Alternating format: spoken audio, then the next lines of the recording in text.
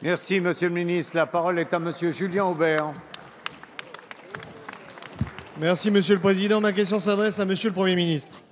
Monsieur le Premier ministre, un nouveau secrétaire d'État en charge de la biodiversité a succédé à Madame Royal dans le suivi de la proposition de loi sur la reconquête de la biodiversité, dont l'examen en deuxième lecture a débuté cette semaine à l'Assemblée nationale. Il ne nous a pas échappé que Madame Pompili était écologiste, mais qu'elle n'a curieusement pas participé au débat de la première version de ce texte. Du coup, nous nous interrogeons.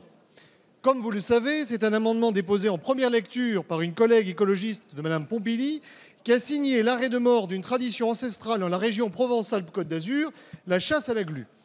Au Sénat, Madame Royal avait déclaré que ces dispositions n'avaient rien à faire dans le texte de loi, car elles avaient trait à la chasse et non à la biodiversité. Le Sénat est revenu sur l'interdiction hâtive de cet art de capture qui concerne plus de 7000 chasseurs au poste. S'il vous plaît, s'il vous plaît. Concentrés dans cinq départements français de notre région. Je rappelle que la chasse au gluau consiste en une capture temporaire d'oiseaux vivants sans les tuer ni les blesser. Ces derniers sont relâchés à la fin de la saison de chasse lorsqu'ils ont servi d'appelant. Ils sont soignés lorsqu'ils sont blessés. La chasse à la glu a été reconnue comme sélective par la jurisprudence européenne.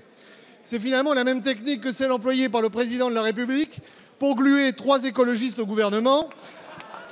Il ne s'agit pas de tuer politiquement Europe Écologie Les Verts, mais de les capturer provisoirement afin de les relâcher après mai 2017. Quoi qu'il en soit, l'obsession idéologique contre cette pratique inoffensive est stupéfiante et c'est pourquoi de nombreux députés de tous les bords de l'hémicycle entendent faire barrage à cette politique néfaste. Comme Mme Pompili n'est pas connue spécifiquement pour être très favorable à la chasse, puisqu'elle a déposé une proposition de loi visant à interdire la chasse à court, à corps et à cri, et de multiples amendements en ce sens, la question que nous nous posons est simple. Est-ce que votre gouvernement sera celui qui tuera cette tradition multiséculaire de Provence?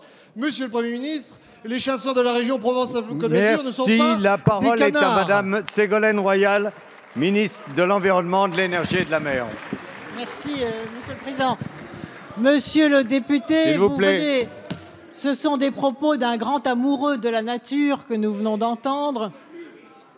Et euh, laissez-moi vous dire en toute sérénité, puisque les travaux de l'Assemblée nationale en première lecture et du Sénat également en première lecture ont été particulièrement sereins et respectueux des opinions des uns et des autres.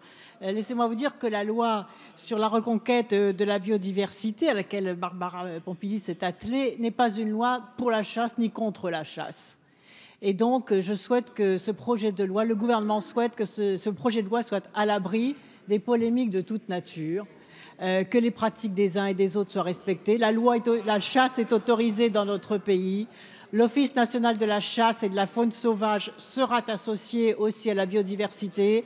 Les chasseurs, en tout cas ceux d'entre eux qui sont respectueux euh, de la nature, sont associés à la reconquête de la biodiversité et des paysages.